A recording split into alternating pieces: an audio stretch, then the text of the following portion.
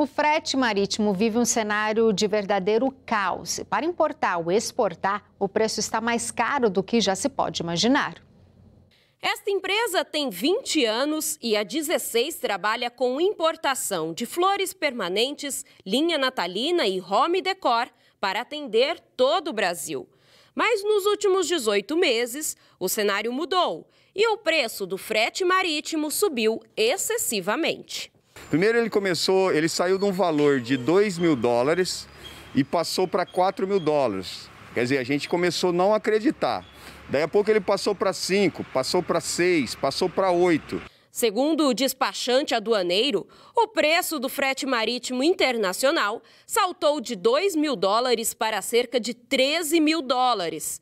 Entre as causas, a principal delas é a falta de devolução de containers para a Ásia durante a pandemia. Falta de containers. Então, é, como não tinham containers, aumento na demanda.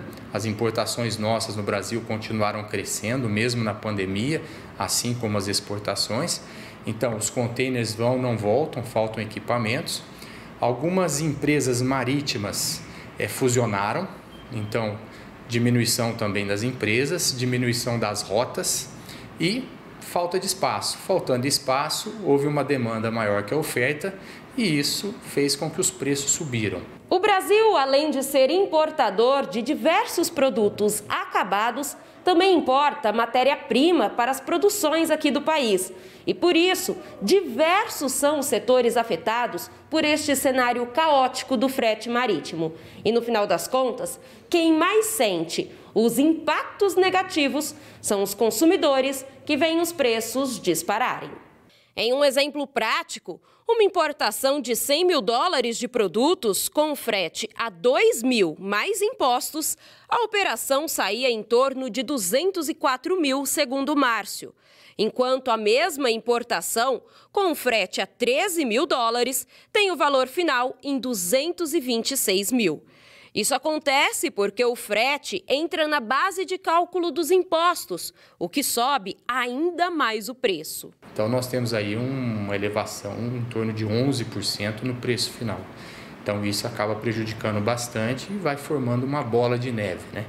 Então, aumenta aqui, aumenta ali e vai aumentando. Chegou no limite que ou aumenta ou para a importação. Nós da área temos uma esperança que em torno de fevereiro, fevereiro, março, é, depois do feriado chinês, do ano novo chinês, é, a gente tem alguma melhora nos valores, mas isso aí deve cair em torno de, de 15 a 20%, perto dos 500% que nós tivemos de aumento não é muita coisa, né? Fabiana Mingoni para a Rede Vida de Televisão.